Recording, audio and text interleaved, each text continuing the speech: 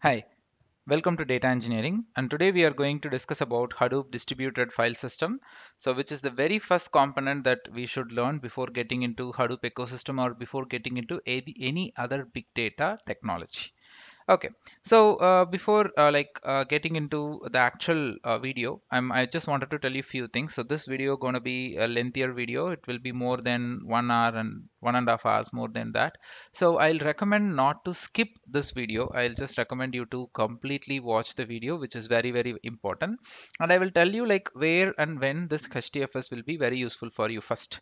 Okay, if you go for any big data interviews, in the interview perspective, you will not get any much questions from HDFS, one or two questions, and that's it. And even after entering into the project, so you will not uh, do any kind of uh, major activities in the HDFS because HDFS is just a file system to store data. But understanding the HDFS file system is very important with respect to have the architectural thought and the design of the cluster, which will be very helpful only when you understand the distributed file system and how the data is getting distributed. So all these things is very much important for you to plan the design of the cluster and architecture and also optimizing your job. Okay. Fine. So if you take Hadoop, Hadoop consists of only two projects. Okay. So one is HDFS, which is derived from GFS, Google File System. And then there is one more module in Hadoop called MapReduce, which is derived from Google MapReduce. So this is invented in roughly 2002. This is 2004. So from these papers, they have released the paper in these year, and from this they have invented this uh, HDFS and MapReduce, and they named it as Hadoop. Okay, so Doug Cutting is the guy who created Hadoop, and uh, like he his the base paper for Hadoop is GFS and GMR, which is released in these years. And if you see, uh, like Hadoop is it just has only two projects. When I say this, people will get a doubt. Like when we see or hear about Hadoop, they say something like Hive, HBase, Sqoop, Oozie, so many other things, right? So, so Hadoop has only these two projects, but Hive, HBase are dependent on top of Hadoop. So Hive is used for data warehousing, Sqoop is used for data transfer. So I have uh, the video to explain you like all the Hadoop components in one liner. I will share that video link in the description box of this video. Okay, so Hive, Sqoop, Oozie, those components are built on top of Hadoop. So if I want to install Hive, Oozie, Sqoop, HBase, then I need Hadoop first. So I have to go with Hadoop and then I have to install all these components on top of it, on top of the Hadoop, HBase, Hive, Sqoop, Oozie invented by different companies and different contributors. On the whole, we call everything, all those components along with Hadoop, we call them as Hadoop framework. Okay, fine. So now we're gonna jump into this HDFS, Hadoop Distributed File System. So before getting into this, I just wanted to explain you some of the frequently asked questions by the user whenever I teach them HDFS. So these are like you may be from mainframe, you may be a support engineer, you may be a Java developer, you may be a data warehouse guy, or you may be a fresher. So these questions uh, like will help you to understand what I'm going to explain next in HDFS. Okay.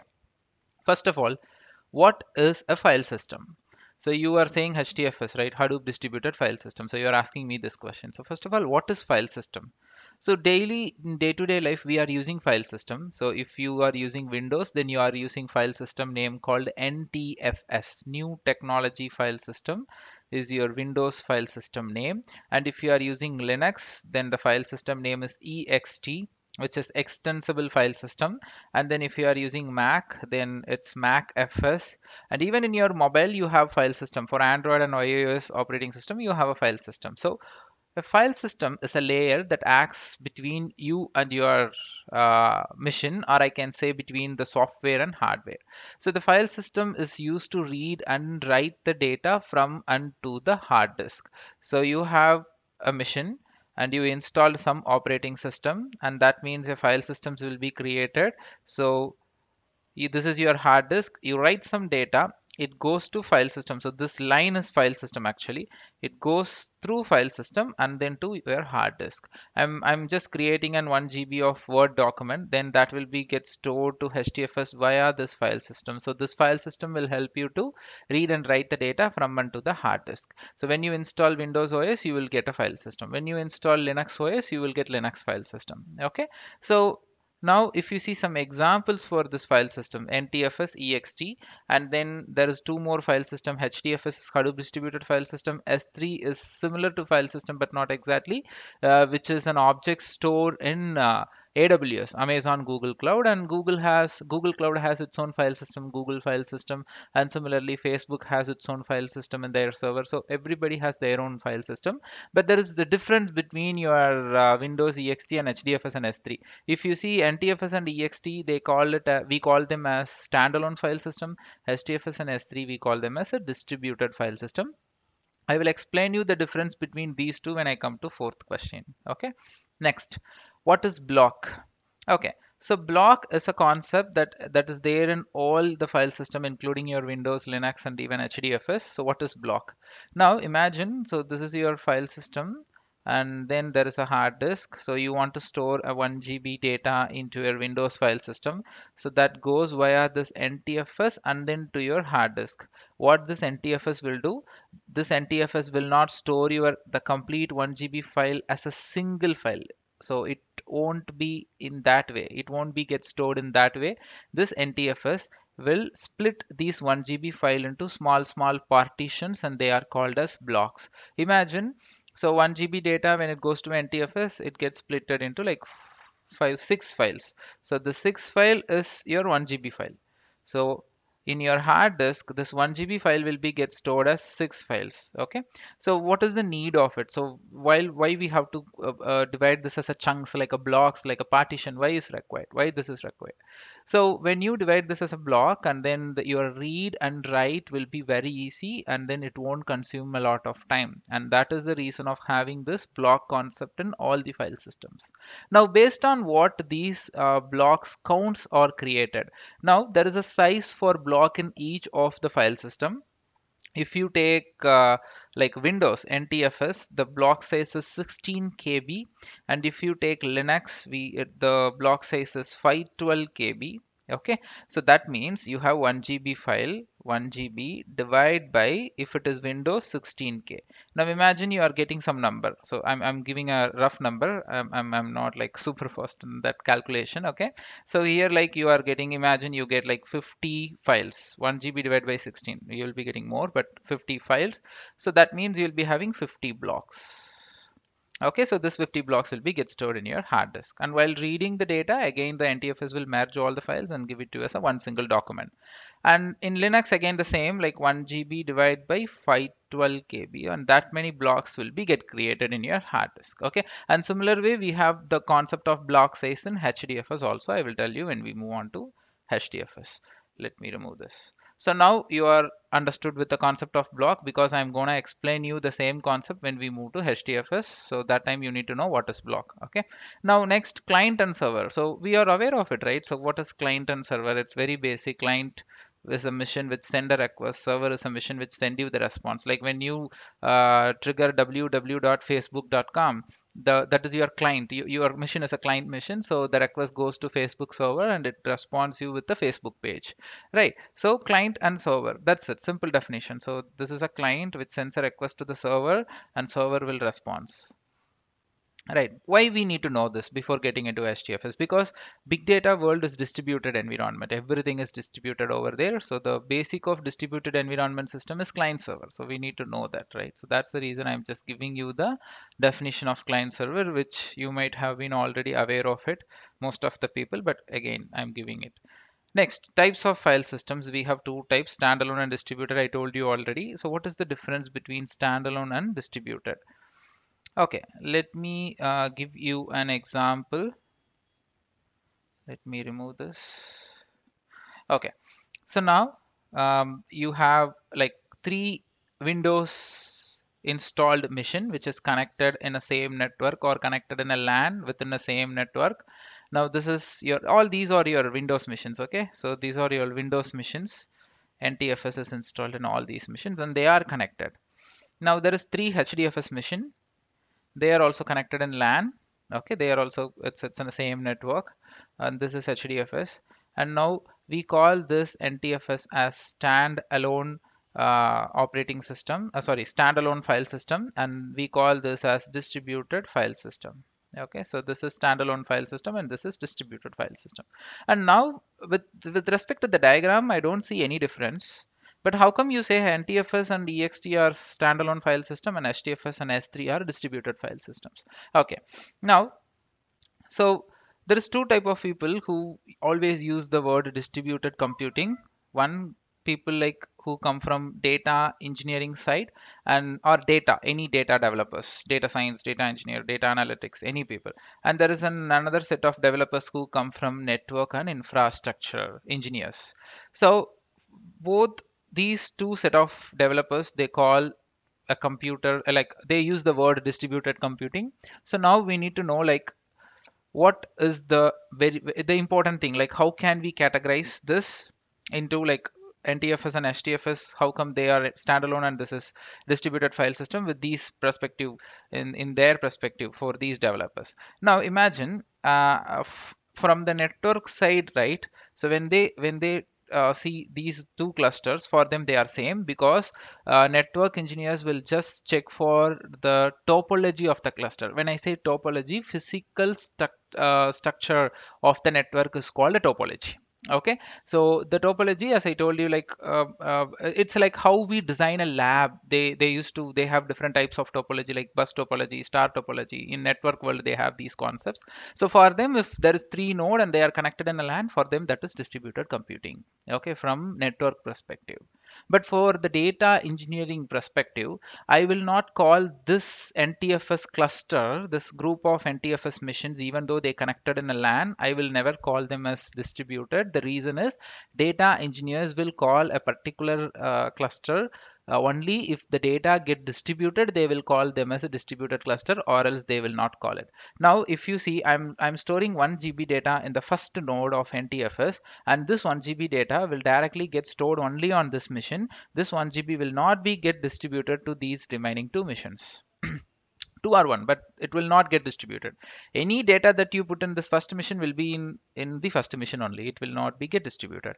But when i when i load a 1 gb data in my hdfs mission or in the s3 what will happen right? This 1 gb will not be get stored in this one node. This 1 gb will be get divided into small small blocks as i told you already and these blocks will be get stored across the missions like this so imagine like this 1 GB is getting stored in HDFS and it, it created like uh, five blocks for this 1 GB data and this five blocks uh, will be get stored in a different machine. So for me as a data engineer, I will call this as a distributed cluster, not this one the NTFS one because here the computer the cluster the infrastructure is distributed but not the data okay but for the networks engineer.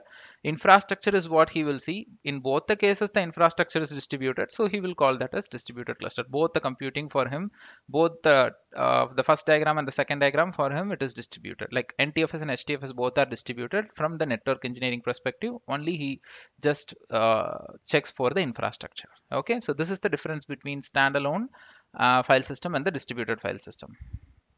Okay next question types of distributed system. Okay now we just discussed about the difference between standalone and uh, distributed. Now in distributed we have two types.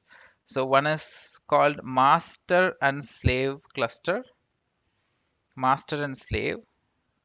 And there is one more called peer-to-peer -peer. there is two types of uh, cluster computing, the, the, the physical infrastructure of a distributed cluster, there is two types. One is master slave and peer to peer. In master slave, your your your mission will be like this. Your your the missions like the computers in the cluster will be like this. So there will be one master who will be communicating with all the slaves and there won't be any communication between slaves okay? The communication happens only from slave to master master to slave. So these master mission and all these are slave missions. The technology which comes under master slave in big data hadoop comes under master slave spark comes under master slave and most of the uh, like demanding technology in big data comes under master slave only. So peer to peer what is peer to peer? So there is no concept of uh, master slave here. So each and every node in the cluster they act like a friends. There is no master there is no master i mean slave. It's masters masterless slaveless concept. So here each and every node connects to another node something like this so first node will connect to remaining three and second node will connect to two three and four so each and every node knows the status of other mission if you see in master slave if this node goes down the remaining three missions will never come to know that the fourth node is dead. Only master will come to know. But here, in this case, if this mission is down, the remaining three nodes will come to know that this mission is dead. So example technology for peer-to-peer, -peer, there is a NoSQL database called Cassandra, which comes under this peer-to-peer. -peer. And both this cluster types has its own advantages and disadvantages. With respect to master slave, uh, the, the, the main disadvantage is SPOF. The full form is single point of failure. The reason of single point of failure is SPOC, single point of communication. If you see there is only one master, it's a centralized system. If this node goes, everything is gone so nothing you can't do anything. So the this only one master right? So we call them as single point of communication. And here because of this you will be getting single point of failure. And in peer to peer there is no uh, need of uh, like there is no spoc that's there is no single point of communication. And because of that there is no single point of failure. Now so how come then Hadoop, Spark and all like they are using master slave? You are saying this is a disadvantage, right? But we have solutions here. I'm going to explain you that in upcoming, like in some time later now in the same video. So if you see in Hadoop, especially if you take Hadoop, the versions that we have in Hadoop, Hadoop 0, Hadoop 1, Hadoop 2 and Hadoop 3. So totally we have these many versions, Hadoop 0x, 1x, 2x and 3x. So 0 and 1, they are completely outdated and 2 and 3 is what like people are currently using in the real time. And mostly like 3 people started using 3 and if you see there is an architecture difference between 1 version 1 till version 1 and then uh, like there is a difference architecture with respect to the set of 2 and 3 okay so 2 and 3 like architecture will be same. 0 and 1 the architecture will be same. But between these two the architecture is different for both hdfs and mapreduce. And i'm going to explain both version 1 and version 2 changes in this video because you need to know both.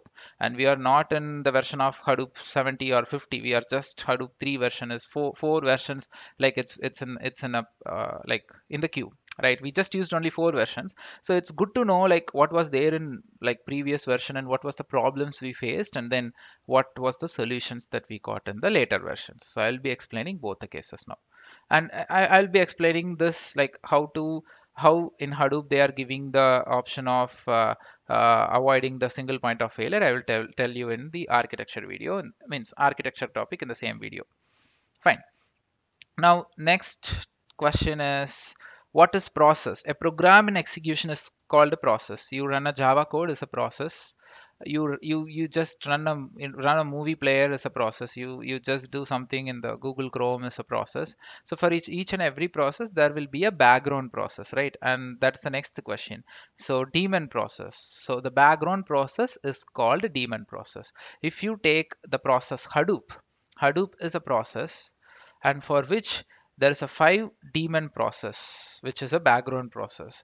So i'll just name it as jp1 jp2 jp3 jp4 jp5 so J for Java, P for process. So everything in Hadoop is a Java. So we the, the process that runs in background is a Java based process.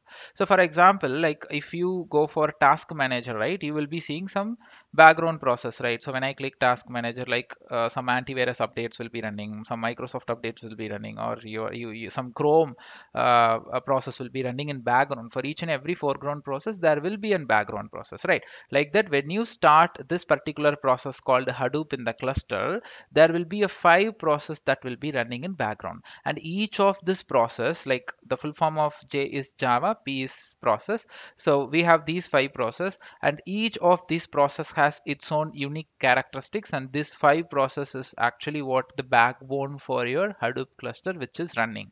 And today, like I'm going to explain you the first three process which is belongs to HDFS and the last two processes belongs to MapReduce. So this is something we'll see in upcoming videos but today we are going to discuss about these first three daemon process. Okay, fine. Now the next question is cluster and node. So hereafter we have to use this word term cluster and node. You might have noticed that I have I'm using the word cluster and node in the previous questions, right? So node is something your one laptop is called one node. Uh, either it could be an physical mission or it could be a virtual mission. Like i'm getting an uh, one mission from google cloud or aws cloud or azure. I'm getting one instance. So uh, whether in windows or linux either it could be an uh, physical mission or virtual mission. If one mission is called one node like you have three three laptops or three desktops or three virtual missions then we call them as three nodes.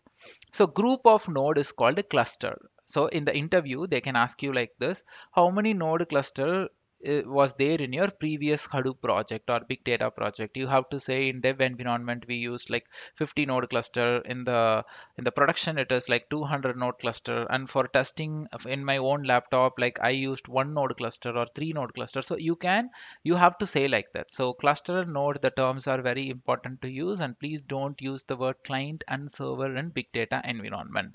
Even though it is making sense for some some some extent we should not use that word word because people will not believe us. If i use that words people will not believe that we have the real time experience okay? So that's that's all like uh, it's the the terms and uh, stuffs like that which we have to use properly right? So that's the thing. Fine. Okay so the last question api client api application program interface. We call them as application program interface. Any request that you send to your mission it's an api I. Want my mission to run a movie.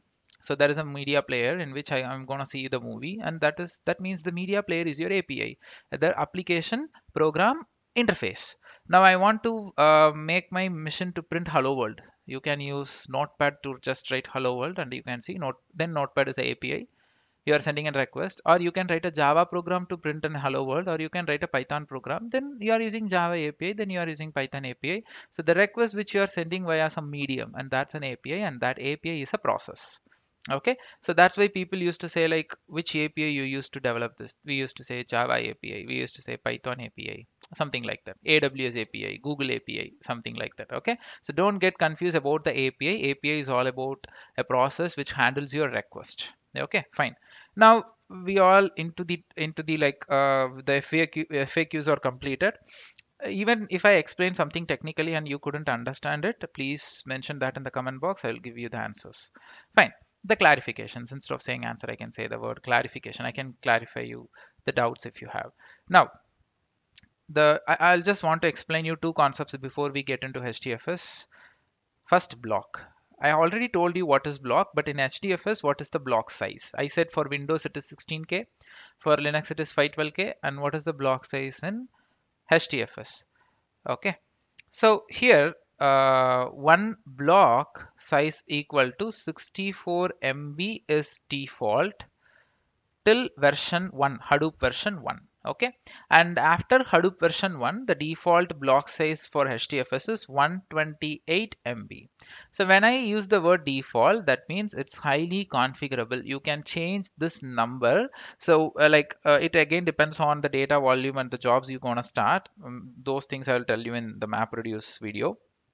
Now so if you want to change this number it has to be like like divisible like multiple of 2 okay so it should be like 32 mb 64 mb 128 mb 256 mb 512 mb so it has to be in that way. Okay so now this is one concept that we need to know.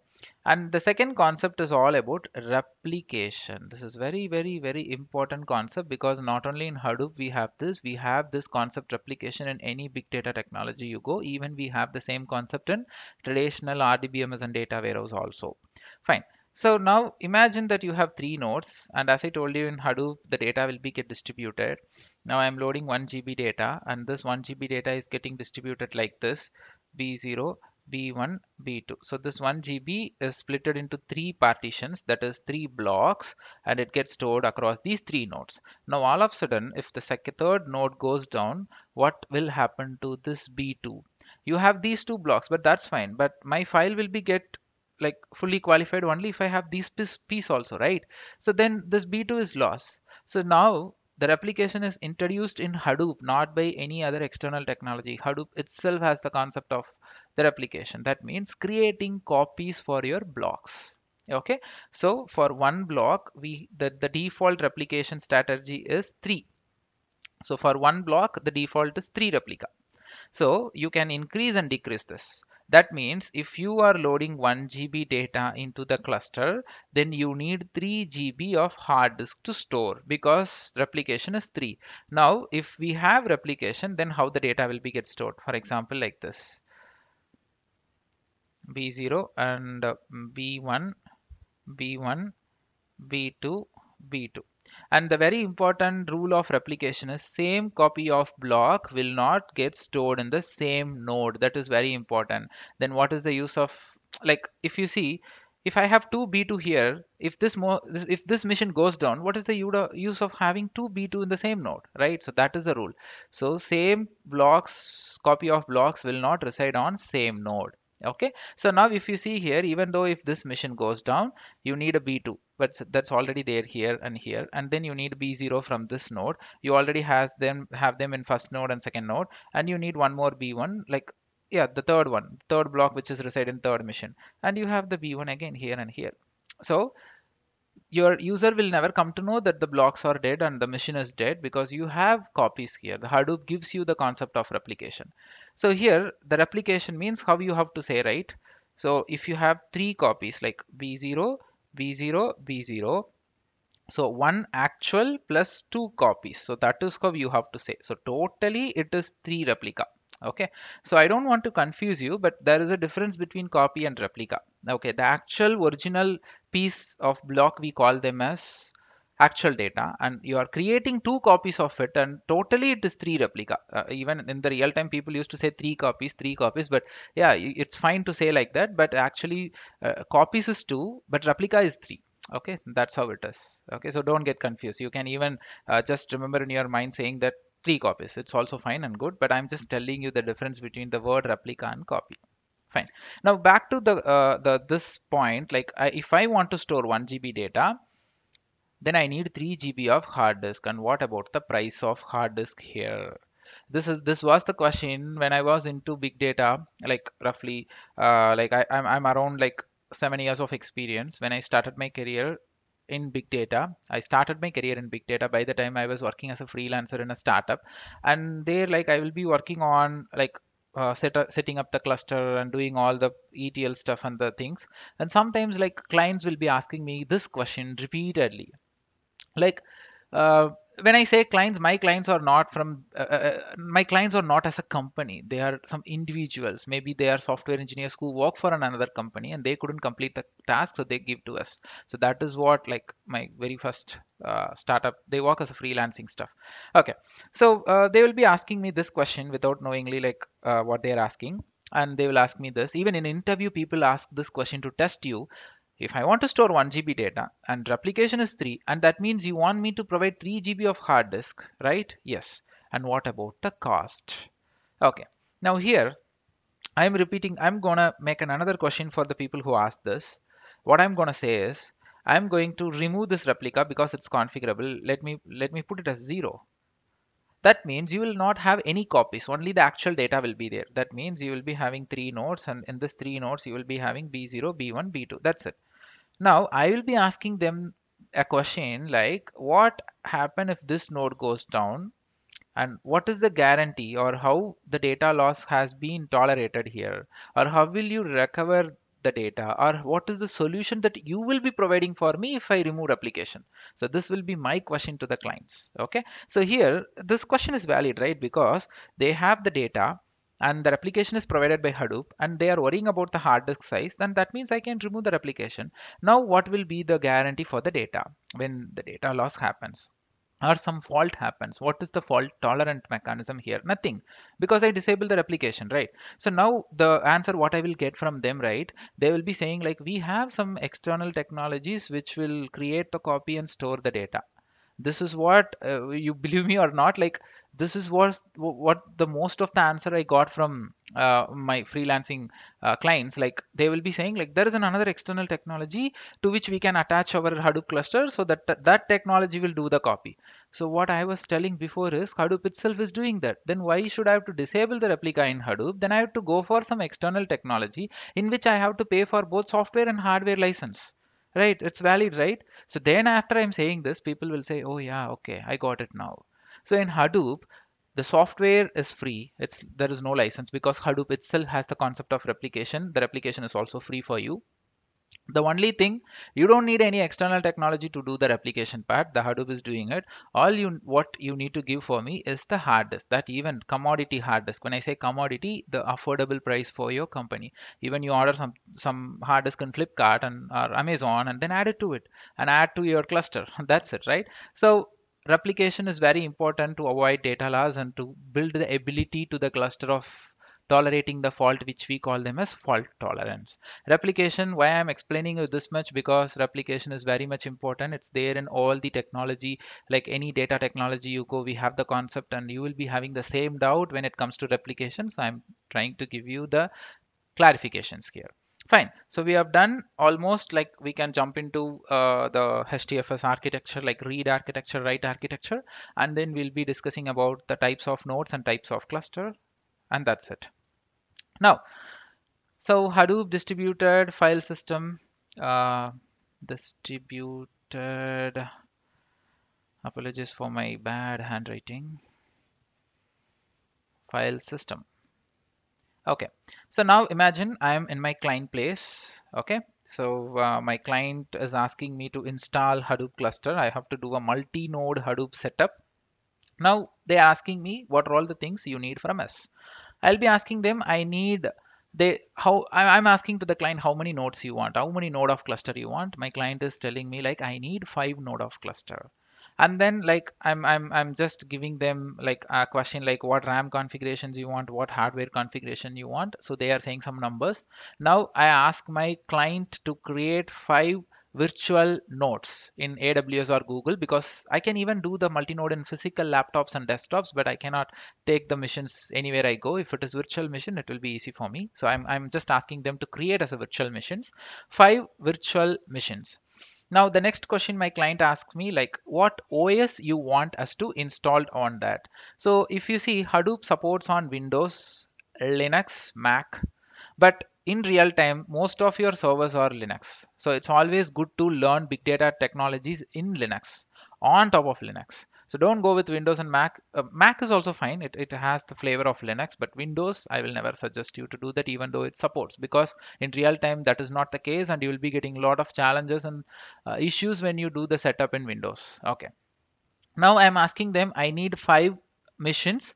Node Um, with Linux installed. Now my client is client created the nodes. So I have five nodes here. One, two, three, four, five. And Hadoop is a master slave architecture. So out of this five node, you have to decide one node for master and the remaining four nodes as slave. That you have to decide and master node mission should have always good amount of RAM, like comparatively high configuration compared to any other nodes in your cluster. Now in all these missions are just ext missions. There is no Hadoop installed yet. All these are, when I say ext, they are Linux mission. The file system of Linux is called ext, right? So that's why I say uh, ext. And um, now you want to download Hadoop from internet. In Apache website, you can download Hadoop. So while, while downloading Hadoop, people will ask me such few questions. So whether uh, there is a concept of uh, downloading Hadoop for 32-bit operating system, 64-bit operating system, there is no such thing. It's only one Hadoop file you can download for Linux or Windows or Mac. It sits on both 32-bit and 64-bit OS and they will be asking me another questions like is there any Hadoop for master slave master version of Hadoop slave version of Hadoop? There is no such thing. It's again the same Hadoop software uh, your configuration will make this mission as master and the remaining mission as slave. You have to do such configurations okay? So these are all some basic things like people ask me before downloading Hadoop. So I'm just clarifying you that. And I you remember I told you there is five process jp1 jp2 i'm not going to give you the exact name for now. There is a there is a unique name for all these daemon process. I'll give you later now you have five daemon process out of which three is for hdfs as i told you and two is for mapreduce now here i'm going to explain first only these three daemons in this video. So here each and every process has its own characteristics right? So now we have to decide a mission like which is master and which is slave. I will make this mission as master and the remaining mission as slaves. And um, let me give some number for it like zeroth mission and one two three and four and uh, like each of this mission has its own process like master mission process name called jp1 that is this process and in all the slave mission the process which controls the slave is jp2 so you have to configure and uh, configure this node in hadoop for running jp2 and you have to configure this node in Hadoop to run JP1. The node which runs JP1 Hadoop process is master. The nodes which run JP2 Hadoop process is slave. Okay, so it's like JP2 in all the slave node. And very important like people sometimes used to uh, virtually uh, get this image like this. 2 jp2 jp3 jp4 jp5 no it's not like that. In all the slave node the process is jp2 fine? Okay. Now i'm going to start the read write architecture for you. I'm going to explain that before getting into that. Uh, how to connect the cluster to read and write. So directly you can connect to this node. For example, I can directly connect to this node um, and you can trigger the read request and write request. But in real time, they will never allow you to connect the cluster node.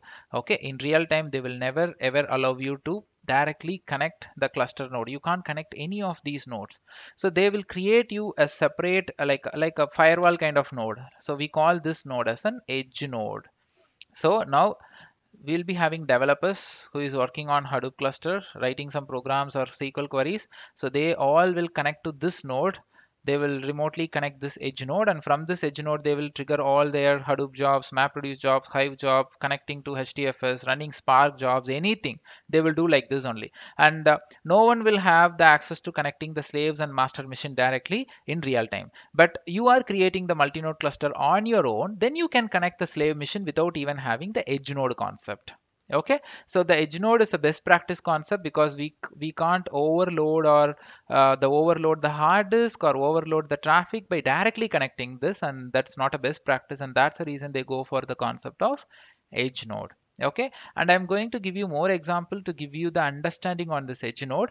If you take facebook.com so you have your own mission this is your mission and in which you go for facebook.com right. So now in your mission like you are triggering facebook.com and this facebook.com which which runs on your mission for facebook server your mission is edge node okay. Your laptop is edge node for facebook.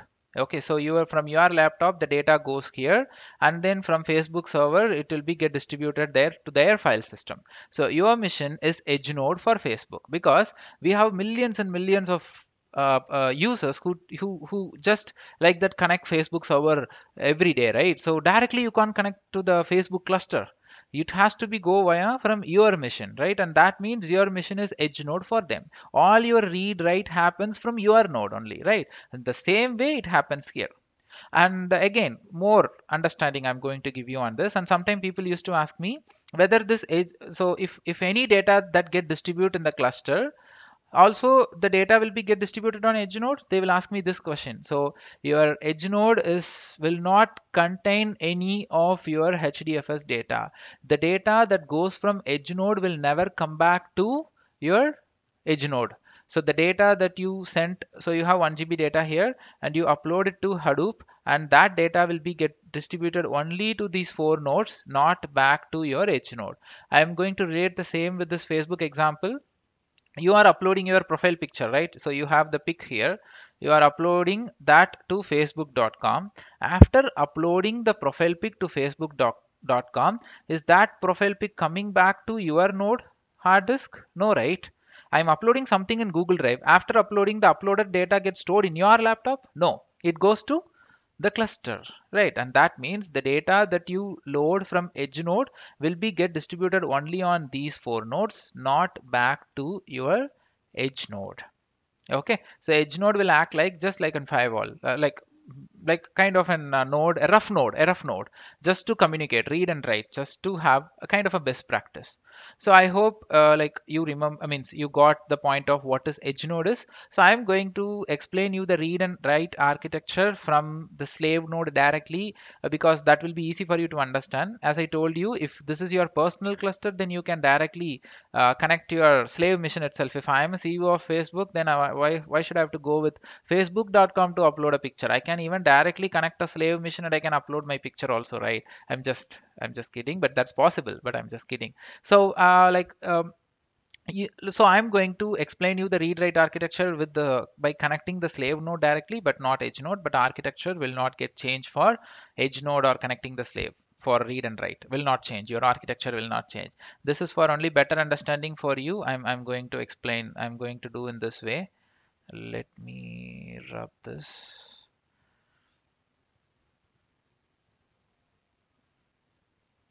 Okay. Okay. Fine. So uh, let me change it. I'm sorry. Yeah, here it is. Okay, fine. So now um, uh, you have 1 GB data. So first you have to store it local in this machine. Just you have a pen drive and connect uh, the pen drive to this node and just store your 1 GB data somewhere in local. Okay, in ext. I'm storing it in ext. And you can see here one more point I just forgot to say. So all these node has two file systems now, ext and hdfs. So in all these node, now you have two file system, ext on top of ext hdfs. ext on top of ext we have hdfs. So that means before installing Hadoop, there was only one file system called ext. After installing Hadoop on all these nodes, now we got HDFS in all these nodes. Now that means you have created a distributed file system on top of standalone file system. Okay, so just to install any distributed file system, you need a standalone file system first. So any data that you load to ext then that will not be get distributed. But in the same node hdfs is running. So now instead of loading the data 1 gb here if i load it to hdfs then that data will be get distributed. Now you can ask me a question uh, in, in while sending my read request, how can I say whether this data has to go to Linux or the data has to get distributed in HDFS? That I will tell you. Okay, so there is a separate command for you to connect with HDFS to upload, to download, to do anything with the HDFS file system. We call them as Hadoop commands. You have to use this Hadoop commands to uh, upload or distribute your data or download the data from file system and those things. So any command, any file uh, for read and write that goes via Hadoop command, then the request will go to HDFS only, not to your ext. Okay, so it's something like you are uploading okay this is your mission laptop in which you have uh, ext and now you are uh, like you open your browser facebook.com again the same example now that means on top of your ext facebook file system is running ffs facebook file system it's running because of facebook.com Alright, now from your laptop, you are uploading a data into Facebook and that means that goes to in Facebook file system, the data will be get distributed. So I'm uploading my picture to ext. Your data will get distributed? No. Now from ext I'm uploading to facebook.com. Now from facebook.com your profile picture will be get distributed to across the node in the Facebook cluster. Okay, so that means I'm having ext on top of I have HDFS. Now any data that goes to HDFS from the first node, the data will be get distributed. I hope you understood this. Fine. Now you have 1 GB data here and then I have to upload this to HDFS. Now I'm triggering a command some HDFS command. I trigger some HDFS command to upload this 1 GB data. Now on top of this node, let me change the color okay so on top of this node a process called client api will be get started so client api is nothing but hadoop client api this api will remains in the same state until your write request get complete. Okay? So whenever you trigger some request a client api will be get started. And you can ask me a question do i need to send a request only from first node always? No. You can send request from any of the node here. So in the same node also uh, like three to four developers can trigger a request and that many client apis will be get created. Now sorry now there is one more developer who triggers a request from here then there will be a separate client API will be created here. Okay? It's not because I'm I'm doing it everything from first node. Don't think only from first node we can send everything. It's not like that. Now you are sending a write request. Okay? So now this client API will redirect this write request to master node. And very very important thing is so here this client API will inform to the master like what is the operation that the developer wants to perform, right? And what is the file size, 1 GB, and what is the file name? Okay, test.txt. That's it. So don't think that data is transferred to master machine. No, your data will be in only on your first machine's local file system only. That is ext. So your data, your information about the data is what going to the master, not the actual data. That's very important to understand. So once the master receives the request, what master will do, right? It will generate something called metadata metadata is something about data about data. So you have your house address right? And in college and school you have your roll number. With the roll number we can get your data. And in your company you have employee id right? So with the employee id we can get all your information right? So something like that. So any write request you send immediately jp1 will prepare an metadata for every write request. And what this metadata will have i will tell you. So it has some informations like the first information metadata will have the block information. Now after receiving the request what JP1 will do it will create this metadata. The very first metadata that it will create is after receiving the file it will see what is the file size. Okay 1 GB and then what the JP1 will check for is what is the block size you have given in the HDFS. As I told you, if it is version 1, 64 MB, version 2 means 128 MB. Now we are going with version 1 only. The architecture is version 1. So that means 64. So what Hadoop will do, it will divide this 1 GB with 64 MB and that means you will be getting 16 blocks. So this number is accurate. That means from B0 to B15 you will be getting 15 blocks. Now this 15 blocks is what it will get distributed here but still yeah uh, the the metadata creation is in process. Still the action is not happening. Now the very first metadata is uh, jp1 that is the master daemon will decide number of blocks need to be created for this particular write request for the file. Second replication. So for each block how many replication need to be get created? If you take b0 and what is the default replication? I told you three replication. So what jp1 will do for each block it will create three replica. B0 b0 b0 and then again for b1 it's again b1 b1 b1 something like that. So that means so b0 b0 B0, 2, b15 b15 b15 and last final metadata is placement allocation. Like where this first copy of b0 has to sit where the second copy of b0 can sit where the third copy of b0 can sit. Till b15 it will decide which node it has to go. And that is happened with the algorithm. There is an algorithm called rack awareness policy so with this rack awareness policy, uh, the with the IP address of all the slave node and it uses that with that IP address, what Hadoop will do, it will allocate the blocks to the respective nodes. Now that has happened uh, like with the algorithm, but just to for the diagram sake, I'm going to give the location now. So imagine if B0 gets stored, first copy gets stored in first mission, second mission third mission, third copy in third mission. Then B15 first copy gets stored in second mission and second copy of B15 in third mission and third copy of B15 in fourth mission. I have, I have given the number here. If you see here 432 and this is 1. Okay. Now this metadata will be get created by JP1 and this metadata will be get stored in ext of master machine. That means local file system of master machine. Very very important metadata will not get stored in HDFS. Metadata will be get stored only in ext of master machine. Okay. Now this information after creating master will send this as a response to the client API. So the response is, so this is your response and this is your request. So the response is B0, B0 to B0 till B15, B15, B15. That means it has to first split 16 blocks and then it has to create replica and then it has to place the respective copies in the respective node.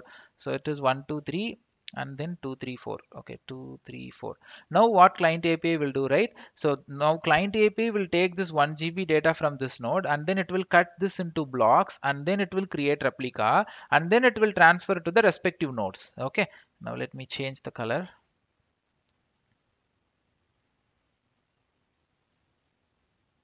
okay.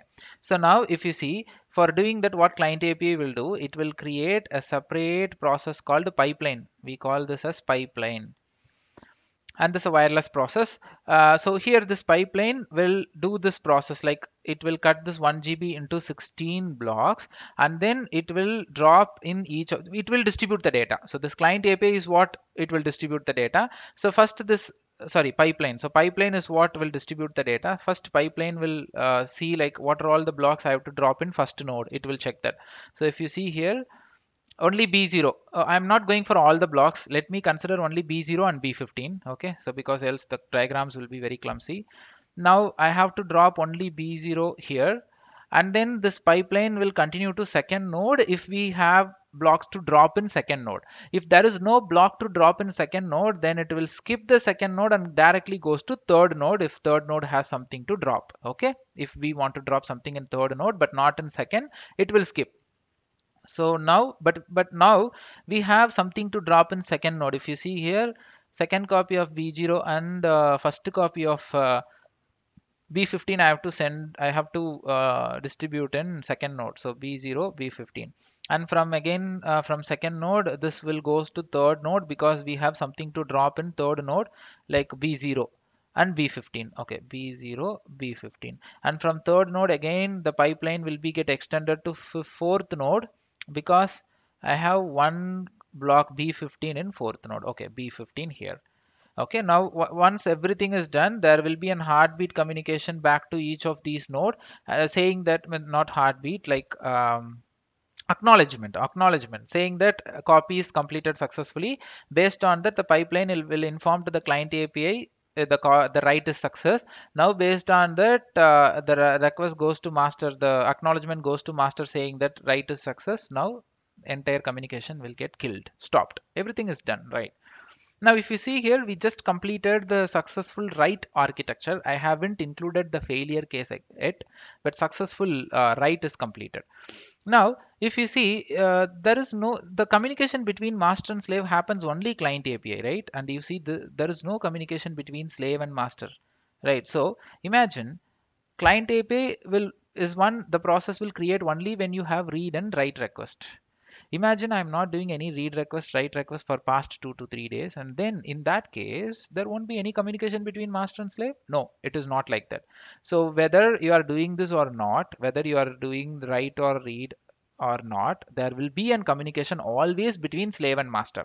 So that means if you see here, for every three seconds, for every three seconds, slave will communicate to master.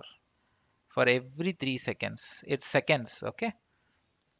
Every 3 seconds slave will communicate to master. And we call this as heartbeat heartbeat. So based on this heartbeat only master will come to know whether the slave node is dead or alive. Imagine if this particular node is not sending heartbeat for next 3 seconds means master will decide this particular node is dead. And what action has to be taken? The master will do that. Okay? I will tell you that. I will tell you that later. Now this is called an heartbeat communication. Okay? Now if you see uh, so far what we have seen uh, like if you take data perspective uh, there is two types of data. One is block which gets stored in slave machine and then metadata which gets stored in master node.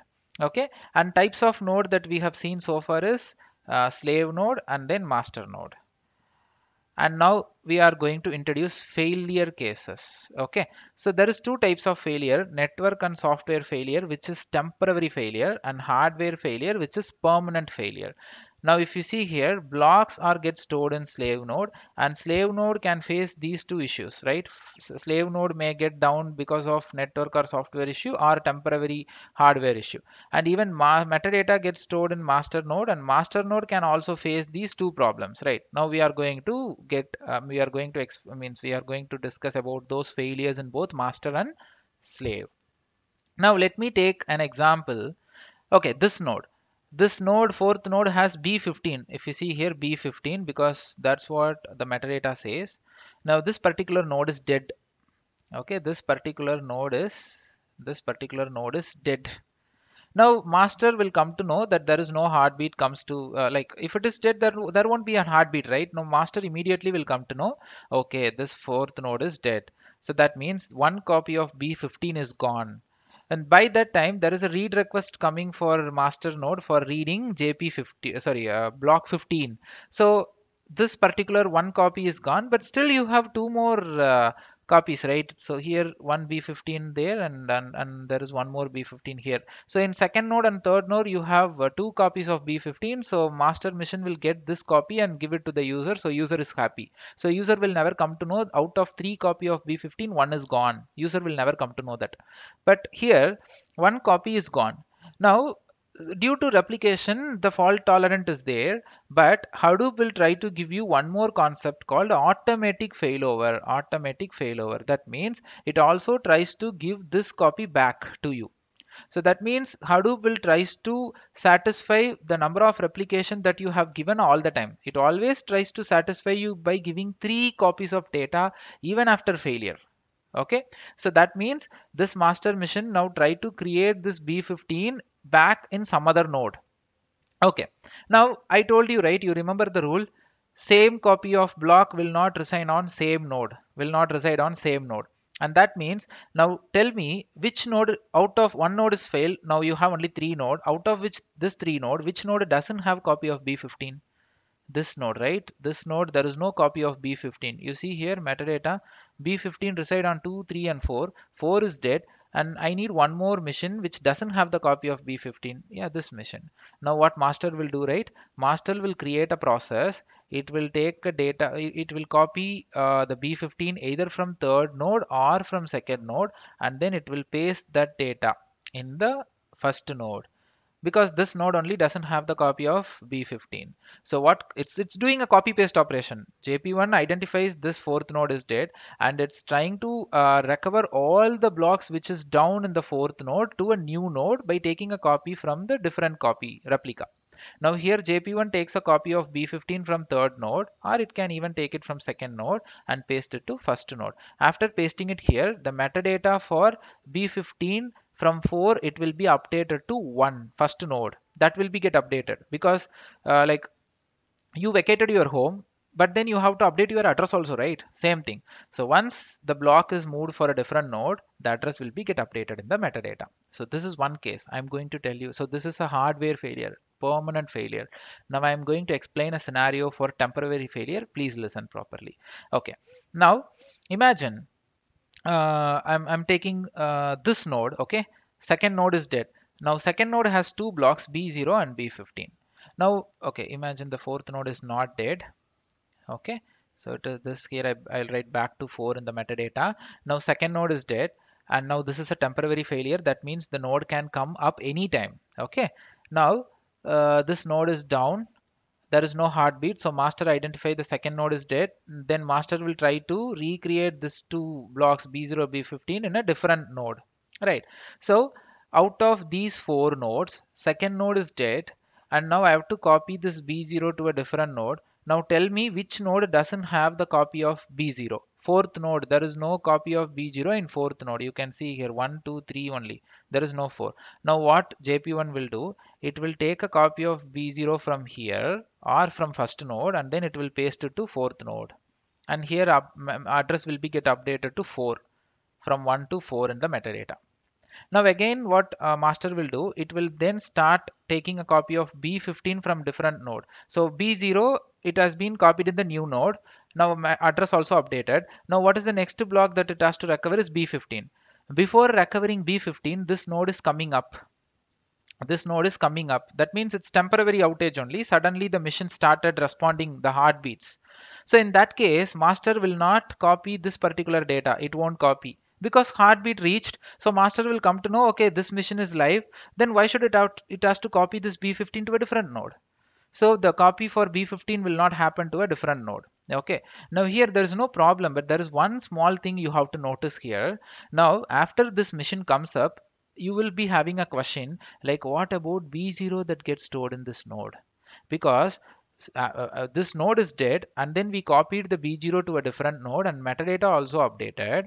Now again the machine is coming up and then like what about this b0 in this node right. So this b0 will not be considered for any future request that comes from the user by jp1 the master machine will never consider this particular block because master machine whenever the request comes it will just check for the metadata only. In metadata there is no entry for b0 in second. Okay this is second node. I'm sorry. So here 4 needs to be updated here okay this is one. Okay so now master will check whether second node has b0 in the metadata. There is no entry for second node b0 here it is 1 4 and 3 only. Okay so that means uh, the, this b0 is unused So who will clear this B0? You have to take care of clearing this. And we don't know which block is moved and which block is not moved. We don't know. So the one suggestion I'm going to give you is whether it's a hardware failure or software failure, temporary or permanent, whenever the node goes down, even uh, the node goes down in temporary, make it as permanent and remove the node from the cluster, add a new node to the cluster at the same time. Remove and add so that the automatic failover will happen in the new node and I will I'm going to tell you one more thing. So if you see here I will I will just draw here. If you see here you have B0 B0 and then B0 and there is one more node. In this we have B7 now imagine like there is uh, two nodes which is which is down. Like if this particular B0 node is down you what Hadoop will do it will try to create the copy of B0 in the node which doesn't have B0 this node right? Now this node is also down so that means this b0 has to be get uh, it, it has to be get created in an, another node right? But if you see this node and this node already has b0 and there is no new node to do a copy. So what i told you hadoop will always tries to give you three replica but in this case what you will do? So when there is no new mission or when there is no mission like without having a copy of b0 then hadoop will not do the automatic failover it will just keep only these two copies. It will not bring back this b0 because there is no node to copy this bring back this b0 right? After two to three days you are adding a new node means then this b0 will be get created in this new node automatically and all these automatic failovers are automatic. You don't want to do anything from your end. The only thing what i'm suggesting you is whenever a node goes down permanently or temporarily make it as a permanent outage and add a new node. Anyway automatic failover will happen by the time if user request a block it will be there from other replicas. So there won't be any outage for you. Okay? So with respect to slaves we discussed both. Now master. So master mission is only one node right? So if it is goes down temporarily then all the read request write request hive job mapreduce job any job that runs on hadoop will be get killed immediately. So that's why client will ask us whether hadoop cluster has ha what is HA? High availability. They will be asking this to us. So till Hadoop version 1, uh, there is no concept of HA. There is no high availability in Hadoop. After Hadoop 1, from Hadoop 2, we got the concept of high availability. But till in version 1, if master goes, everything is gone. And there is one more point here. If master machine goes down temporarily, and then I can repair it and bring back it and then again I can rerun the jobs. But imagine what happened if hard disk itself got crashed, temporary outage the metadata file is gone right? See even you if, if this particular mission is crashed uh, in hard disk and you create a new master mission what is the use? Metadata is gone. Metadata is gone completely. And that is what is the use of having all this b0 b1 b4 nothing. I don't know which block stores in which mission so when this particular node goes temporarily is fine, but permanently this hard disk is got crashed, then the entire metadata of the blocks is gone. So that's the reason people will be taking some multiple copies periodically for this metadata. But in Hadoop version 2, we got the fix for this metadata safeguarding also okay i will explain you that so now we discussed about the failure cases and how to rectify for slaves but master i have i'm yet to say and uh, there is one more thing two more points to discuss in this diagram about the read request. So i explained you write request. What about read request? Read architecture is very very very simple. So the same client api instead of write it will be read. And again the request goes to jp1 jp1 will give you the metadata information as a response to the client api and the client api will read those blocks directly from the nodes. So the pipeline process not for read. The pipeline is only for write. So pipeline is only for write. There is no pipeline for read. So client API will directly read the data. So here, if you see JP1 is sending back the response with replicated details also. That means while while reading, for example, uh, I'm, I'm giving B0 as 1. So client API will not read all three copies. What is the use of reading three copies of data? Client API will read any only one copy only. But if that copy is not available during the time of read, it won't complain back to master. Immediately it will skip that node and it will take the second copy. And that's the reason JP1 is sending the complete replicated information of the block. Okay. And finally one more point. What happened if i write the data my write process is happening at the time if something happens? I explained you the failure case of slave only after write. What happened during the write? It's very simple. Imagine so the client api is writing the data to the second node so ma ma metadata has been created. It, it's something like i have posted you the uh, letter but in the receiving side on the day on the day of receiving you, you have shifted the house. So that means while creating the metadata uh, first node second node was in live but while writing the second node is gone so immediately your write request will not be get affected.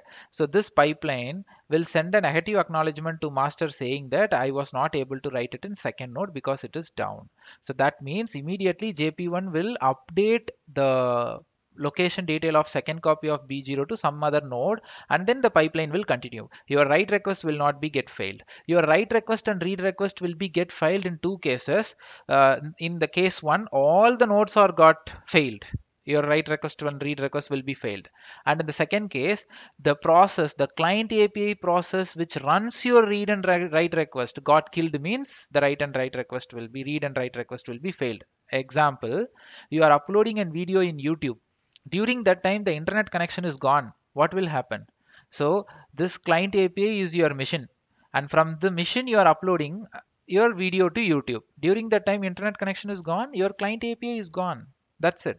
So this client API, the one who handles the read and write request from the requested node. So if this client API itself got killed, this particular mission is dead or this particular mission is got shut down and then your read write request will be get stopped okay your read write request will get stopped only in two cases i repeat in all the nodes were gone down your read write will be failed or the client api which process handles the process got failed it the read write request will be completely failed. Okay fine. I have explained you the cases the complete cases of uh, uh, read write and failure cases and for slave we have the solution and i explained you. Now uh, coming back to the master node. So what i will do let me save this file and some name. Okay. Now i'm going to explain you like in hadoop 2 how they have rectified the uh, like like uh, HA, how they implemented the high availability cluster concept. Okay, in Hadoop 2, they implemented the support of having more than one master. So there is three process for HDFS, right? So I will give you the name now. Uh, JP1 we call them as name node. JP2 we call them as data node. And JP3 we call it as secondary name node and we have two more process. Jp4 uh, we call them as job tracker in version 1 uh, and resource manager in version 2 okay? And jp5 task tracker in version 1 and node manager in version 2 sorry sorry for the spelling mistake. Okay so the so this two daemons is for MapReduce as I told you already. Uh, for uh, in MapReduce alone, the daemon names has been renamed. So in version one it is job tracker. In version two we call them as resource manager. In version one it is task tracker. In version two it is node manager. But the, these names are same in both Hadoop one and Hadoop two. Secondary name node is not much important for us to uh, explain or for us to work. It's all about the dummy node which uh, which keep the uh, state of name node in sync. So and very very importantly don't think the secondary name node is what they have implemented to bring this HA concept. Okay don't don't think in that way. People used to mistake when i use the word secondary name node and that is the reason i didn't give the daemon names before. Secondary name node is not what you are thinking. So if the actual name node that actual master goes down secondary master will come. No that is not the thing. Okay so this is this is not the daemon which is doing that magic okay. So secondary name node is completely different. It's a naming convention issue. Okay. Fine. So these are all the daemon names. So hereafter instead of using jp1 jp2 i'll go with the daemon name. So in Hadoop 2, they have implemented the concept of having more than one name node, that is one active name node and uh, n plus passive name nodes. You can have how many passive name nodes you want, but if you see here, I'm, I am having four masters out of which one is active at all the time. So two active is not allowed more than one active is not allowed okay? And now you can ask me who is doing this check and who is electing this passive active? Who is doing that? See for example if this active goes down immediately one passive will become active. So this election is done by which process? So there is a process a technology called zookeeper this is a cluster coordinator technology. This zookeeper is a process that runs on all the name nodes that you have. It monitors all the name nodes. Okay. Now if this particular active name node goes down an acknowledgement like the heartbeat communication will not happen. So immediately what zookeeper will uh, do is it will come to know that active name node is dead. Then it will elect one active out of this passive name nodes. That means second node. So zookeeper is doing that so who is doing that? So zookeeper will is it acts as election election commissioner, and if the active CM is gone, it will make the next passive CM, chief minister or or some leader as an active person. Okay, that is done by zookeeper. So Zookeeper is also multi-node. It's not one node. A Zookeeper will be running on more than one node. And uh, sometimes people used to ask this interesting question to me. You said Hadoop is master slave, and there, there is one more cluster type. You said the peer-to-peer. Zookeeper comes under which type? So Zookeeper will not come under master slave or it will not come under peer-to-peer. Zookeeper is a cluster. This is again a cluster that comes under uh, leader follower. We call them as L and F leader follower and that means if this is the zookeeper which act as a leader and the remaining three zookeeper act as a follower now this leader is a zookeeper who act as an election commissioner to monitor. Like if this particular active name node goes down it will pick the next passive name node as active. Now you can ask me a question what happens if the leader goes down in zookeeper? So immediately the next follower will become a leader so we don't want to build one more uh, system on top of Zookeeper to monitor it. Okay. So here uh, name nodes cannot be elected automatically, but Zookeeper has that functionality to do that. Okay. So this is an extra information I'm giving it to you. So Zookeeper is a process which will elect the active passive name nodes as uh, and other than that your slave nodes that is called as data nodes or remains same. There is no big uh, there is no architecture change in data nodes. But what data nodes will do right? If you have like um, uh, one active and two passive name nodes. How many name nodes you have? For that many name nodes like uh, they will send the heartbeats. Like this node will send it to three name node and this second node will send it to three name node third node again fourth node. So only active name node can perform read request uh, write request and any job request. Only active name node will do that. Okay? But the remaining data nodes will just receive the heartbeats and they don't do anything that's very important to know. At any point of time, only one active name node is possible and we call them as fencing that is taken care by zookeeper. Okay.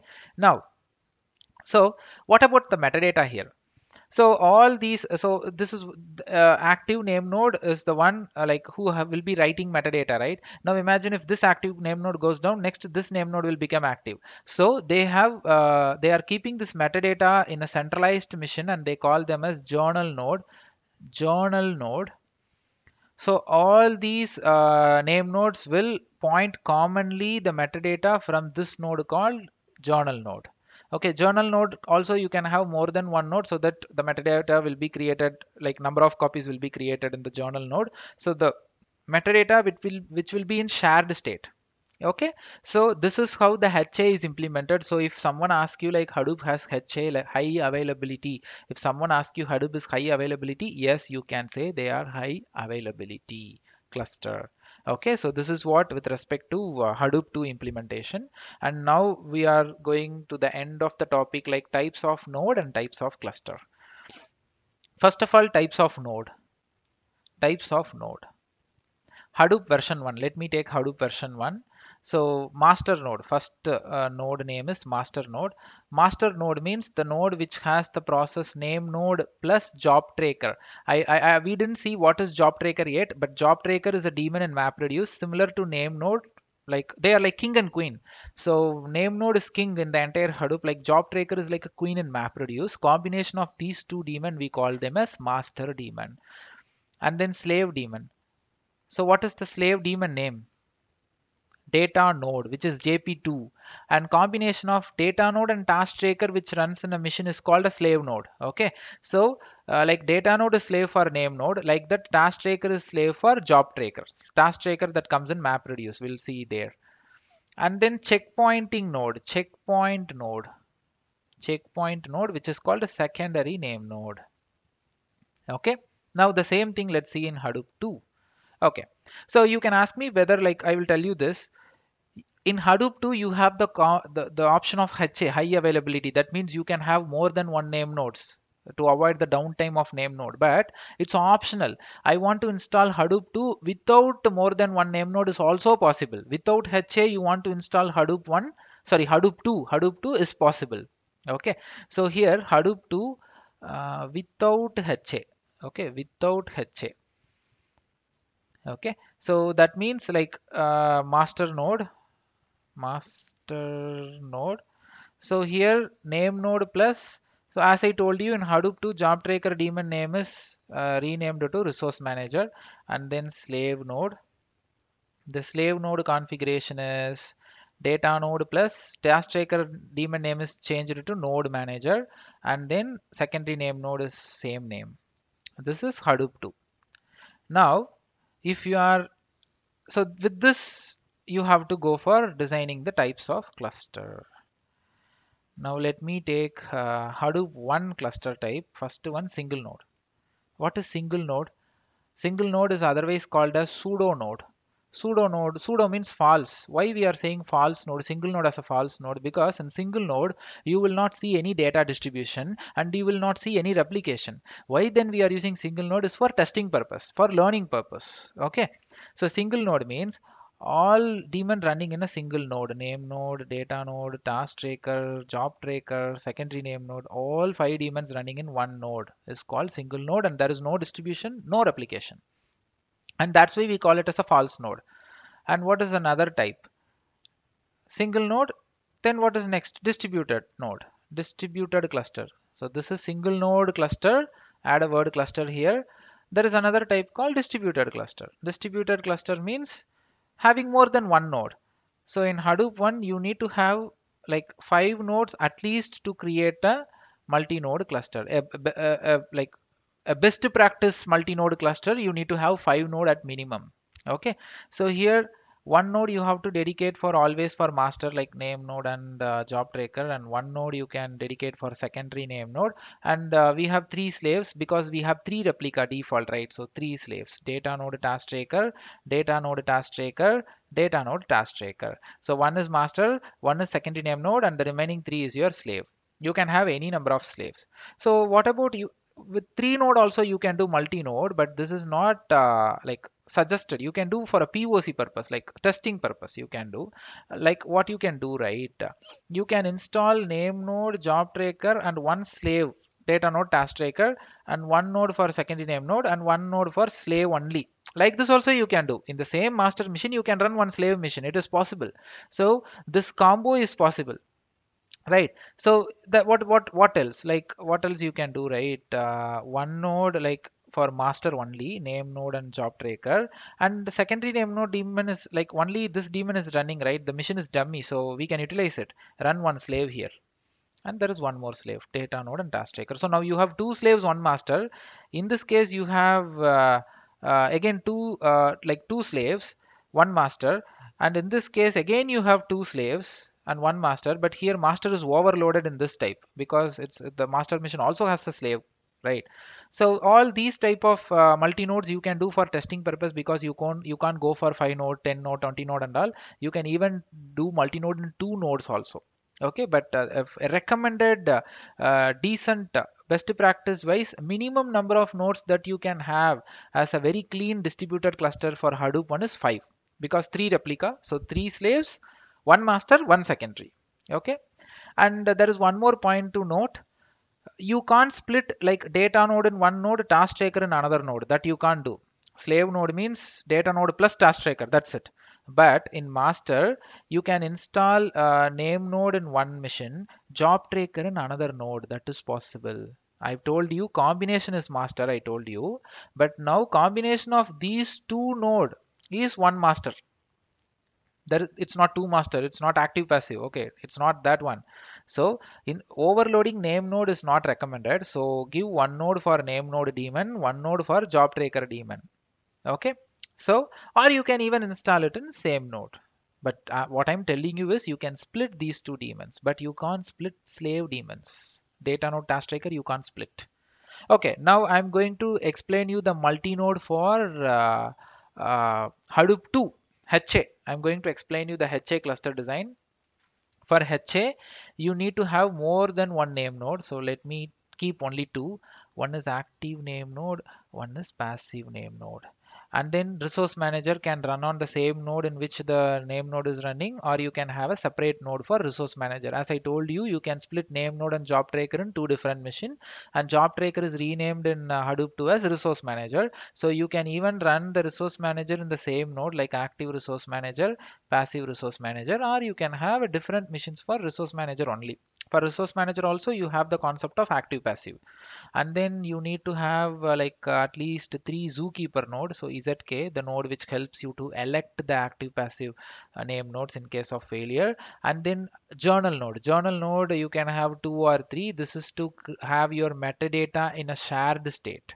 And then data nodes. Data node and node manager right?